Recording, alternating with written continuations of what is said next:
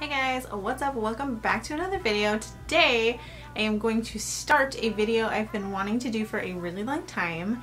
I got this idea a couple months back so I've slowly been kind of gathering the things that I want to use for it. I'm not the craftiest of people. I feel like I'm creative but like the execution of things isn't always the best. So not exactly sure what I've gotten myself into but for this video, I want to put together a lace gown.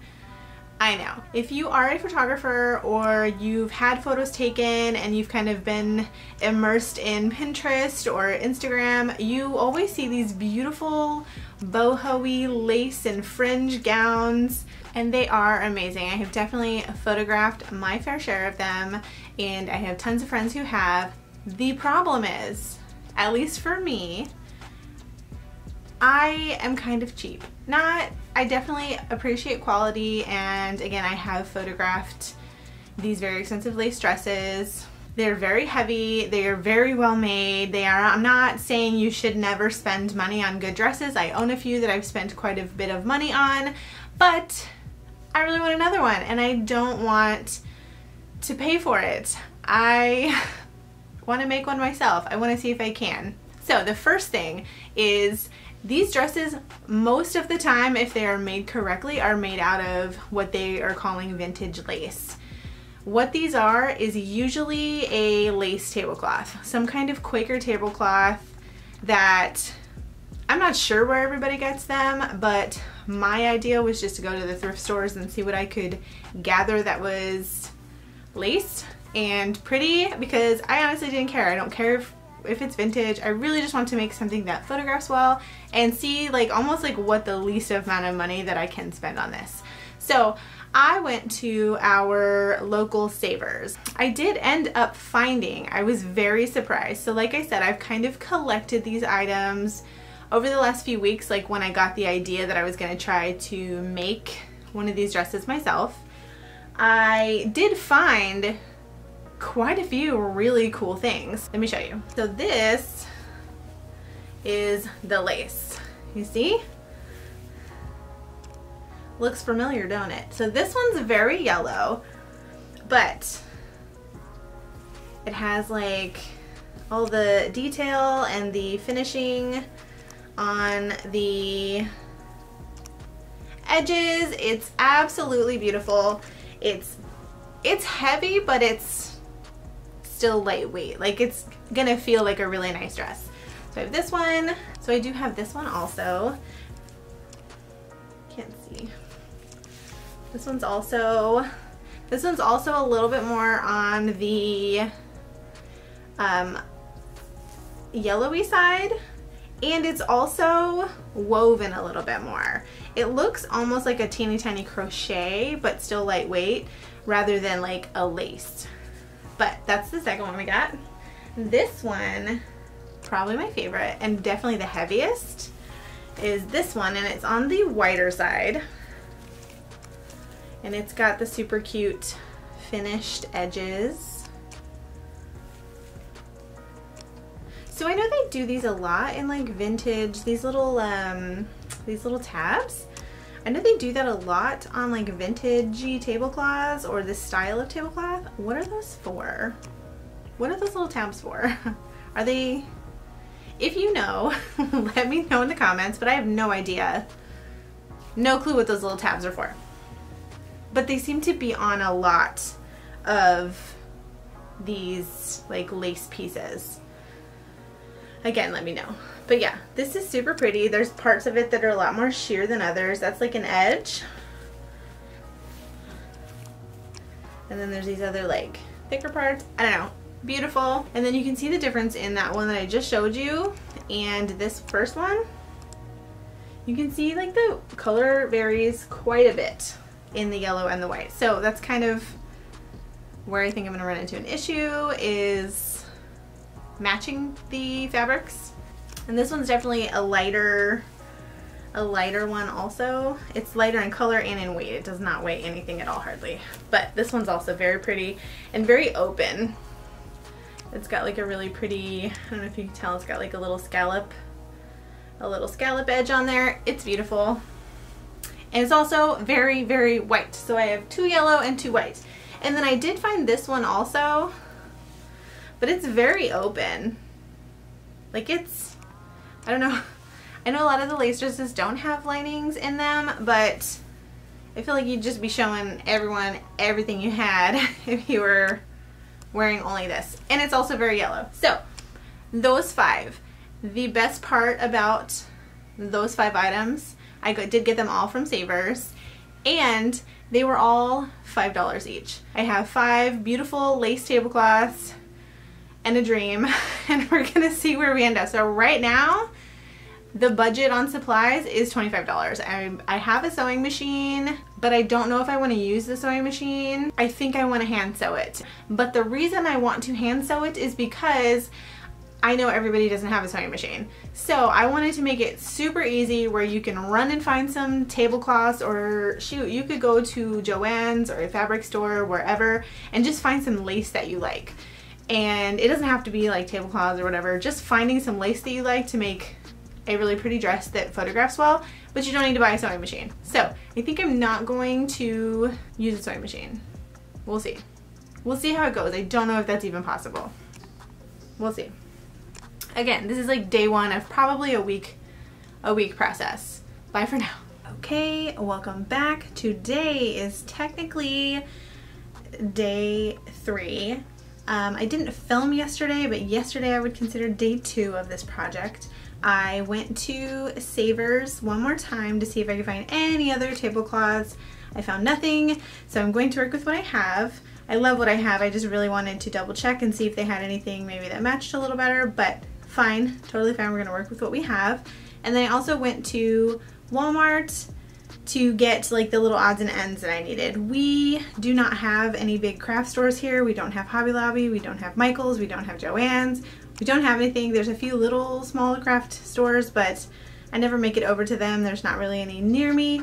So Walmart it is. Walmart has a nice little sewing section. It is what it is. You gotta work with what you got. So at Walmart, I got um, thread.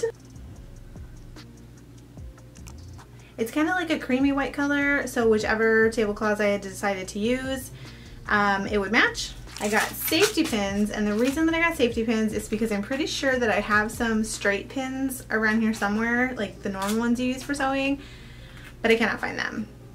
Also because I don't have any friends and I don't have anybody to pin this dress to so I think I might end up having to pin it to myself and I would rather not have a bunch of straight pins everywhere and I just figured safety pins would be a little more sturdy while I kind of pinned and checked to see how how it was gonna work. So just a little, a little better. I got needles. I already had, I got kind of some big fat chunky ones. I already had some needles, but they were teeny, teeny, teeny, tiny. And I kind of, with what we're, what I'm about to do, I would rather have like a big needle I can keep my eye on because we're gonna be working with a lot of fabric. And then I got this, um, it's cordage, I guess. It's like a cotton cording. I don't know if you can see it. There you go. It's like a cotton cording and I got it to be like the ties in the back. So we'll need one tie for the waist and probably one or two for the back of it to kind of like tighten it up the back. I also, so they only had this in white. They didn't have it in any other color. So I have decided that I'm going to use the white tablecloths, the two white ones that I have for this.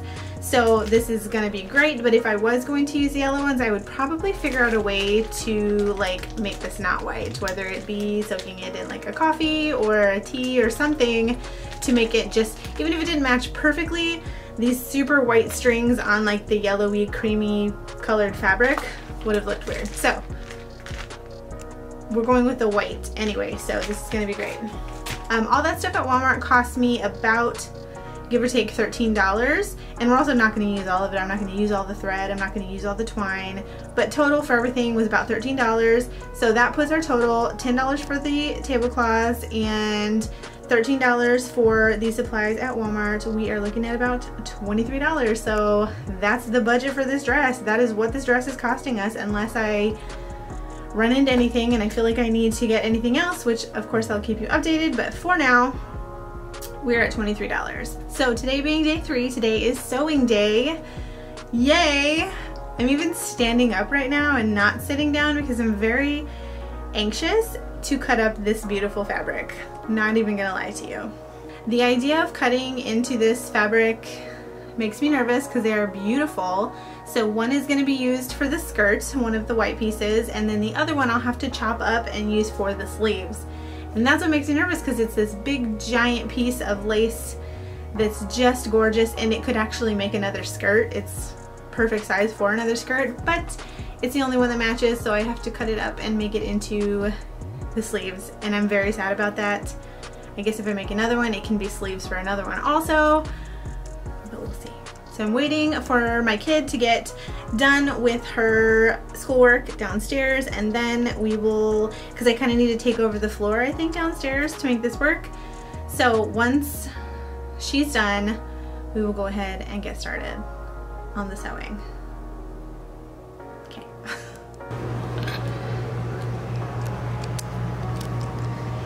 Find the center. I found the center, and then I think I want to do a 22 inch across, so it makes it up to 44 inches for the waist. I really want to make sure that it fits everyone.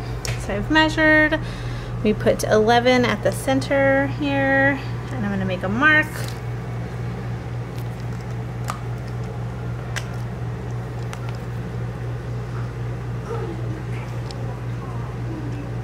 So I know where the center is. And then we're gonna make a mark down here. So I know where that is. Then I'm gonna make a mark down here where that is. Okay, so we have our marks. Can't really see them, but they're there.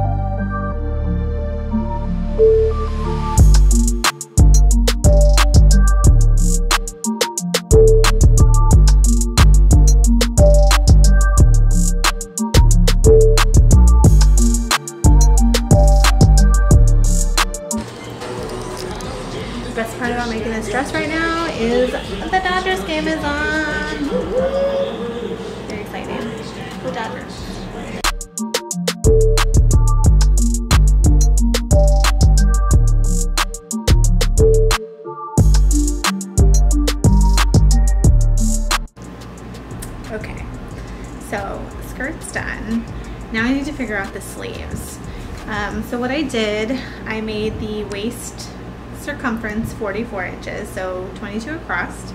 So I think what I'm gonna do is half of 22 is 11. That's right, half of 22 is 11 because I think, so the sleeves, I'm trying to think, so each sleeve will have to be half of the front and the back. So it would be 11, but like I want flowy. So I think I'm gonna go with an extra inch on each side. Maybe extra inch and a half on each side. So I think I'm gonna make these panels for the sleeves like 14 inches wide. And I'm not sure how long yet. I'm gonna have to like put it on and like pin it. But I think, I think that's what I'm gonna do. I think I'm gonna go 15, 14 or 15 inches wide. I'll let you know what I decide but from there I will figure out the sleeves. The sleeves are really, like the skirt was easy, like that's, hey, put a hole in a tablecloth, you have a skirt.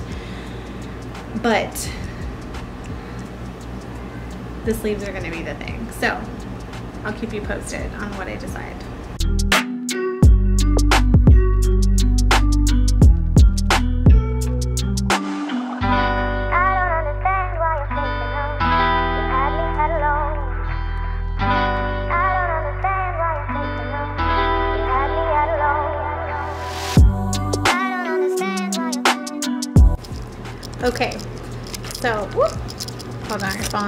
Tripod. Okay, so we are pinned. Let me show you here. So I pinned it all the way across, like in the front where I'm going to sew it because I want to get everything, everything pinned. So it's all pinned up in the front. So I'm going to pin it in the back also and see where we end up. Okay, and now I have like the back pinned a little bit. Um, I just have a few on there. I don't really know. I know I need to leave room for it to be adjustable, so I'm gonna try it on now and see what we're working with. Okay, so this is where I'm at. I have all of the pins in here. I'm gonna try to show you the back. I can't see if you can see the back super open. There'll be the adjustable strap right here. So the only issue that I'm running into at the moment is this right here is supposed to be the center. So it's supposed to be right here. So I pinned everything crooked. But you know, that's the first, that's the first like mess up that I've had. But yeah, so I just need to repin it. But like the sleeve length is good. Um, this one's not fraying like the other lace was on the edges. I don't know if you can see. It's not fraying. Like I'll probably end up finishing it just to make sure it doesn't fray. But it's not like I don't have to worry about it right this second. Like I don't have to stop and fix that like I had to the skirt. But yeah, we have to move this. we have to move this center seam over here and re-pin the sleeves and then I think you can sew it. I left these little, I left these little guys. I put the little, um, the little scalloping in the front. And again, this will probably be closed. I don't know if I'm gonna pin it up so high. I think it'll probably be like that. I don't know. We'll see. We'll see. For right now, we have to re-pin it because it's a little crazy. Okay, see I'm a dummy. It even had a red mark still from where I marked the center when I originally cut the skirt. So I have now pinned it to the middle, nice and lined up. So I need to repin the front. I think we're good. Okay, so my fingers hurt from using safety pins. The Dodgers game is tied. So I think I'm gonna end this for now. I'm gonna end this on day three and I'm gonna probably finish it tomorrow. My back hurts from sitting on the floor. But yeah, it looks good. So hopefully I can finish it tomorrow and then I can take pictures of it next week. It's gonna be so exciting. I'm very excited. It's turning out way better than I thought. It's beautiful. Okay, I will see you tomorrow. Hello friends. Today is day four of the dress saga. Um, there's two changes that I would like to point out first before we get started. The first change is I do think I am going to cut new pieces for the sleeves. I think I want them to be longer. When I tried it on, they kind of came to here, and then I ordered some fringe that's gonna make them a little longer, but I really think I want like super like flowy, beautiful sleeves. So I think I'm gonna make that change. So I just have to cut new sleeves and the sleeves we cut haven't been sewn to anything yet. So I'll just use them for another dress. I do wanna see if I can turn um, some of the other fabric into like a little dress for my daughter. And the second change that I'm going to make, hold please. I think I am going to use the sewing machine. Hear me out though. Um, I can finish this by hand and if you are going to try to make a dress like this, you absolutely can do it by hand.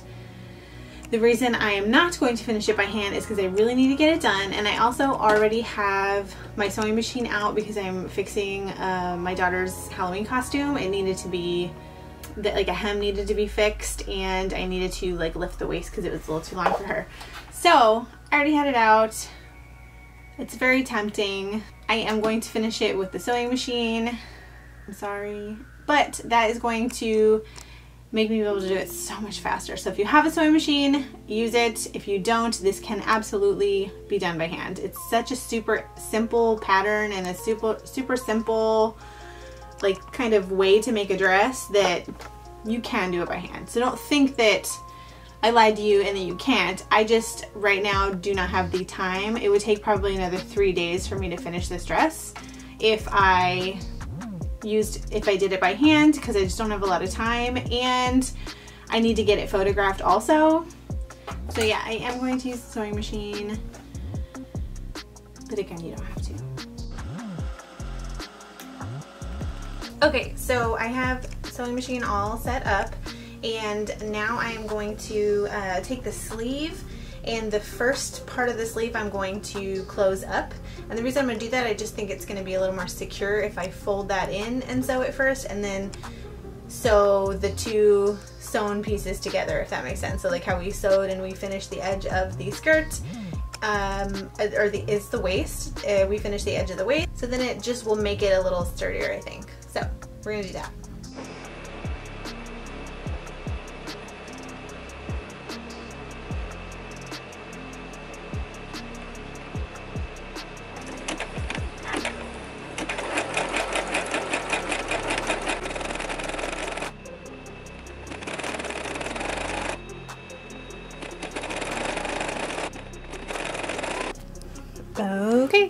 have finished the edges of the sleeves. I finished all the edges all the way around just to make sure nothing frays. It's not like super amazing, but they're pretty much all gonna be hidden, so it doesn't really matter, but that's where we're at. The next thing that I have to do is attach the sleeves. So I have to attach the sleeves to the skirt. I'm gonna make sure they're lined up this time and we're gonna go from there. I really just wanna attach the front. I don't really, I think I'm gonna have to measure.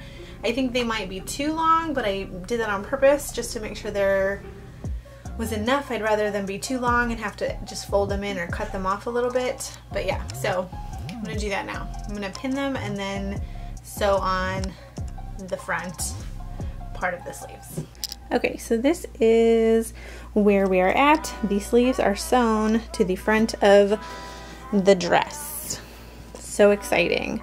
Um, what I did, I went over it with one stitch just to kind of secure it and then I went over with a zigzag stitch just to like really lock everything in. I do think I'm going to change this though. This right here, I think this is too, I think how much I sewed that up is a little too high. I don't know, I haven't decided. So now I have to figure out how to secure the dress to the sleeves to the back.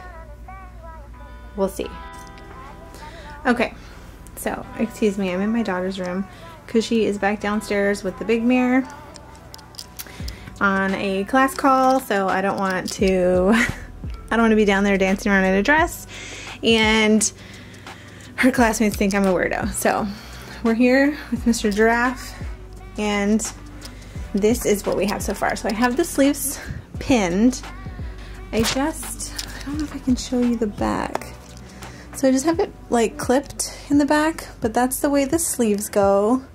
They're like super, super flowy. Um, I do just have them pinned. I need to sew them on and then I need to figure out a tie.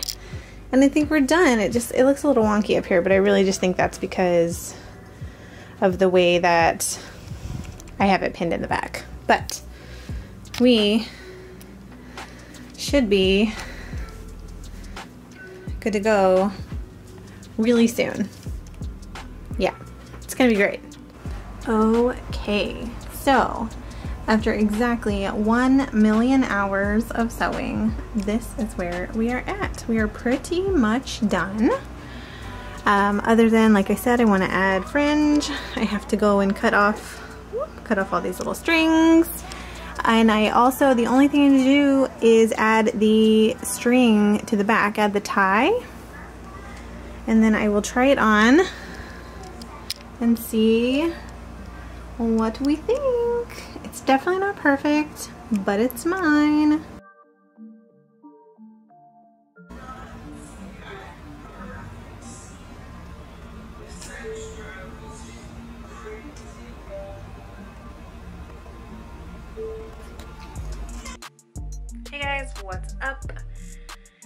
Today is, I guess, officially day four of working on this dress. It's been a few days in between. I had ordered some fringe for the sleeves on Amazon. It's not going to get here in time. It still said, even though I ordered it a week ago, it still says it wasn't gonna be here until Saturday, but I am photographing this dress tomorrow. So I needed to run all over town and find some fringe. So what I found was this. You see it? Focus? Okay. This is what I found. I'm sure that they're meant for like curtains or something. I'm not really sure, but it's very pretty. The detailing is pretty fabulous. So I'm going to put that on the sleeves like that. It's going to be, going to be great. I did get nine feet. I got three yards of it because like a dummy, I went on a hunt for fringe for the sleeves, but I did, did not measure. Sorry, my hair is wet. I did not measure before I left. So I'm sitting in the store trying to picture how long these sleeves are to do them all the way around the edge with this fringe.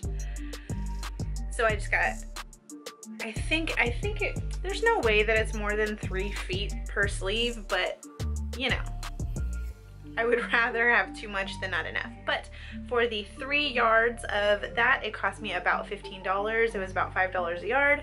So depending on how much we use, I will update the total of what the dress cost. Okay, so I'm gonna sew that on now and then we'll see where we're at.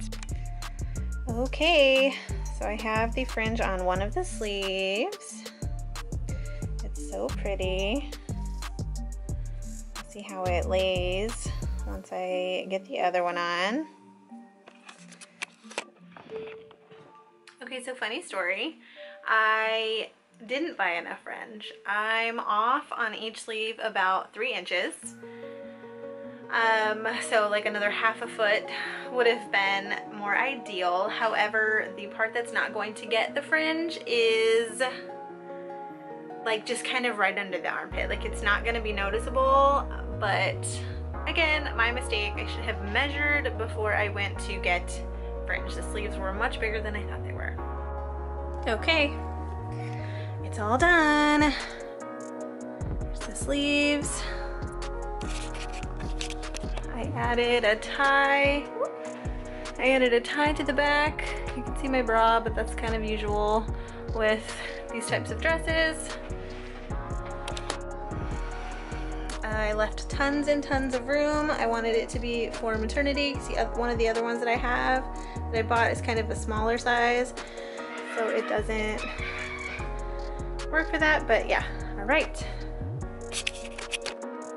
All right, we're gonna photograph it tomorrow. I will see you tomorrow for day, day six, but the final day. Bye.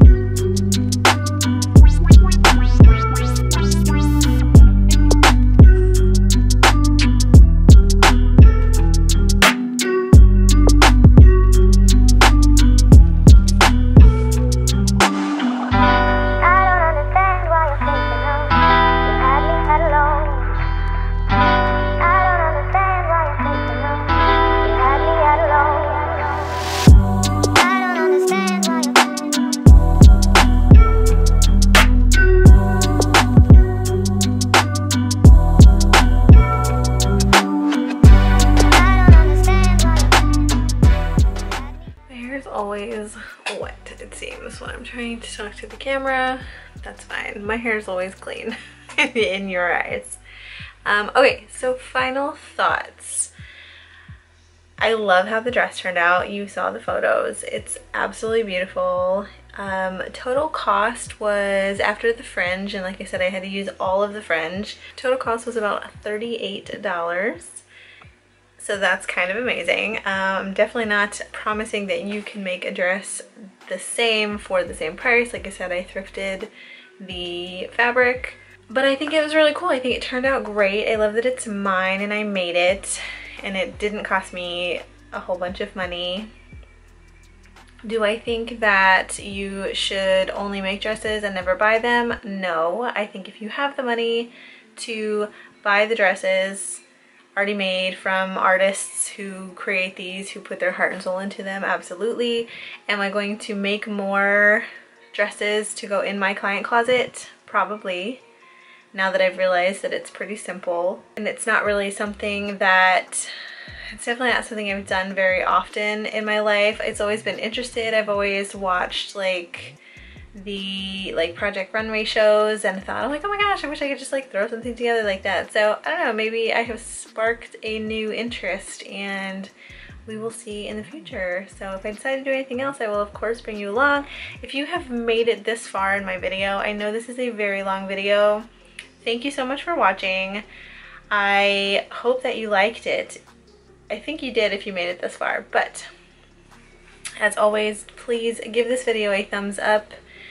Don't forget to subscribe so you can follow me on all of my other adventures, and I will see you next time. Bye!